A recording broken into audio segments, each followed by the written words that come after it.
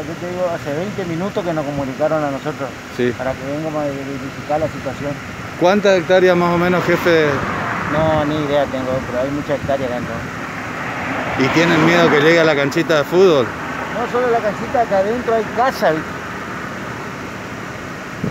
Desde el incendio comenzó desde la Y allá tenemos los bomberos, ¿viste? pero más de eso no van a poder ingresar los bomberos. Desde la aproximadamente de la Nicolás Avellaneda viene el fuego Afirmativo. y se está acercando al shopping. Al shopping, sí.